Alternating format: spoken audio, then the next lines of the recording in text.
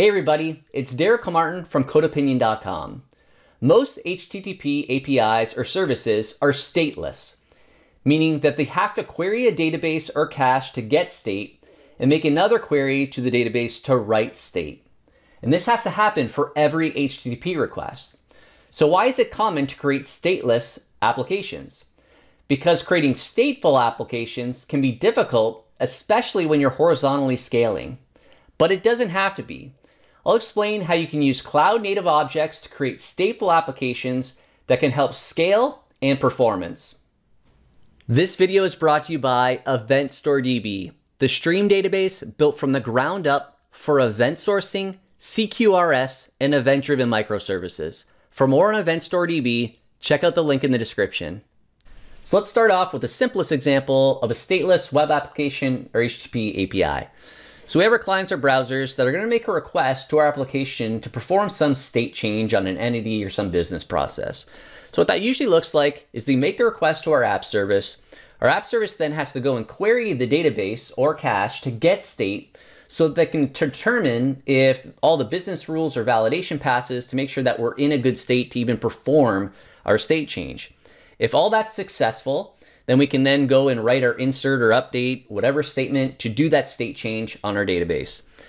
Subsequently, every other request kind of goes through that same type of life cycle where no state is actually on the app service. We have to go to the database or cache to get it. So to turn this into a stateful application, let's start with our clients are still hitting our app service and we have no state yet. So we query our database. We get our state back but what we're doing now is we're persisting this in memory on the app service for whatever, again, entity or object that we're working with. So as we do normally, we perform our business logic validation against that state and we determine, yes, okay, it passes so we can make our state change. But in memory, this little object here, that is up to date. That is current state. So that means that a subsequent request for that same type of uh, entity or object that we have in memory we don't have to query our database anymore. We have it directly. So we can just directly perform our validation or business rules. And if they pass, then we can go and make our write statement. So we've eliminated having to do that initial read to get state because we already have it in memory directly in our app service. So this becomes much more difficult when we start scaling horizontally our app service. So what I've done here to illustrate this is we have our load balancer and I have three different instances of our app service. So if a first request comes in, and we're just doing round robin here for our load balancer, if the first request comes in and we hit the first app service, it goes into the database, gets the state, and again keeps it in memory. But if another request comes in and hits the second app service, we do the exact same thing. Here's the problem in that both instances now have a copy of what that entity or object is. And if our second instance here made a state change to the database, now the first one has a stale, out of date version. So, really, what we want here is we want our app services to only have one place with a single point of truth where any one object exists in memory. And we're doing this because we are just trying to limit the number of requests we're making to our database. As you can see here, our database ultimately becomes the bottleneck. So we want to limit the number of queries that we have to perform on it. And we can do that creating stateful applications. But how do we solve this issue where each different app service is kind of working independently. We need them to communicate in order to know where a particular uh, object is in memory so that we don't have to go hit the database. So how do we do that? You can accomplish this using cloud native objects. I'm going to use Microsoft Orleans, which has the concept of virtual actors, which are known as grains. But Reuben Bond, who's on the Microsoft Orleans team, often calls them cloud native objects, which I think is a really good term. So I'm going to steal that and call them cloud native objects. So to illustrate how Orleans works, it has a few different building blocks, two of which I'm illustrating here, which are cloud native objects, and again, Orleans calls these grains, live in silos. And you can create a cluster of silos. So to illustrate this, I have this app service and we're moving it from having that state in memory rather than those objects living in a silo somewhere. So I'm illustrating here just kind of separation, but the way this can really work as well is you could turn your app service to also co-host a silo. And what this means is I now you see that I have different arrows here where our silos are communicating with each other. So if you have a request that hits a particular, say, let's say the first app service, and you need to talk with a cloud native object, you'll see with the programming model, you don't really know where it lives but that actual um, object that you're working with could live in any app service, in, in any silo in an app service. So you'll see the programming model here in a second, but this allows us to uh, have state within our, uh, our app services distributed across them in a, a cluster of silos. I want to say thank you to all the members of my YouTube and Patreon. I really do appreciate the support. They'll get access to all the source code I'm about to show, as well as a private Discord server. If you want more information on joining, check out the links in the description. So while this isn't a full-blown Orleans tutorial, I am going to explain how it works and how you implement some of this. So the first thing I need to do is to define an interface that's going to expose all the behavior we want for our cloud native object. And again, Orleans calls this a grain. So I have this iInvoice number generator grain, and I'm using the iGrain with GUID key.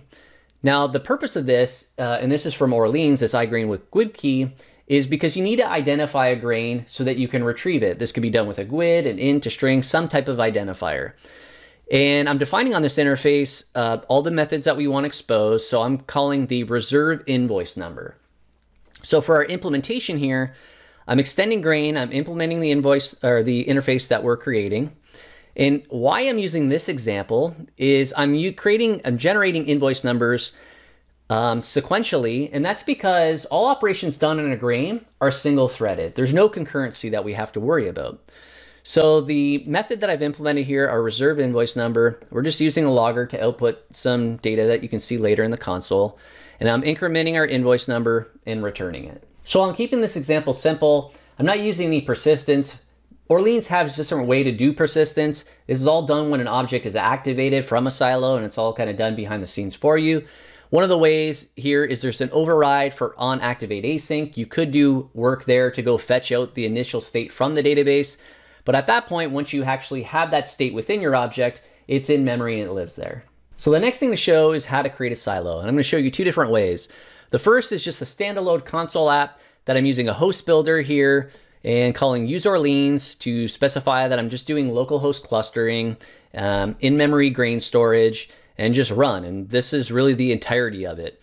And this project is referencing my domain project though, however, because it needs to know where the grains are and what the implementation is. The second way to do this is, as I mentioned in some of the slides, is that you can host this alongside ASP.NET Core. So here I'm creating a builder again, I'm using Orleans, and I'm also configuring ASP.NET Core with our web host defaults and doing the same types of things that you would expect.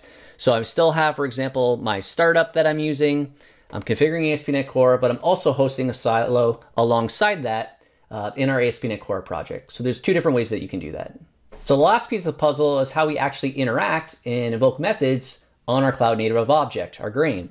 So to do that, I have a route here that I'm injecting the iCluster client, and I'm also taking the uh, GUID of the tenant ID in our route.